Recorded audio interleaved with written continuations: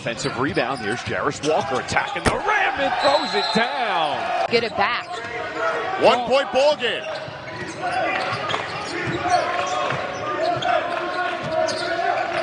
Good pressure there by College Park, but they find a cutting Walker with a hammer dunk.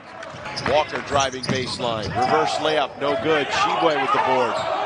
Finds Walker again Actually, in this second half, he has been super aggressive, going to the rim, challenging guys. He now has 16 points.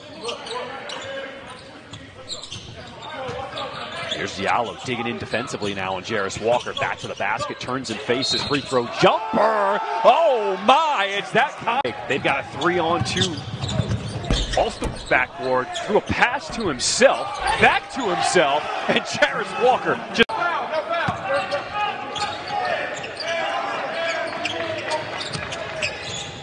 Walker, turnaround jumper Oh. is wet.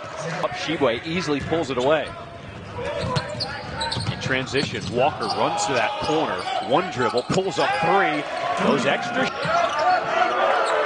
Walker from three. Contested, doesn't matter. Elfrid Payton. I know Elfrid Payton is still trying to get back to the league, but just having that veteran presence has got to be incredibly helpful. Push shot is good for Jarace Walker. A somewhat contested shot.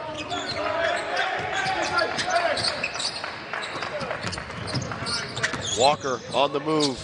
Push shot. Bucket. Well, Indiana's been able to space out this lead to six. An opportunity to make it more on this possession.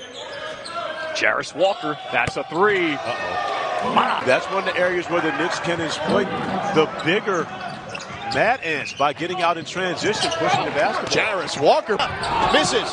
Tip is no good by Goodwin. Walker going the other way. Walker drives by his man, gets the Bernard has the mismatch. His jumper no good. And a strong rebound by Jordan Bell. Gotta Walker's up. ready, knocked down one three, and he steps into another. Bang! That's a dominant left hand, and he can do damage when he gets downhill. You don't want to let Jarace Walker shoot. Walker from the corner. He's not even hitting the. McIntosh a little out of control, kicks it to the corner. Three ball on the way, too strong. Skyhawks need to continue getting paint touches, trying to force the defense to move. Walker, push shot is good.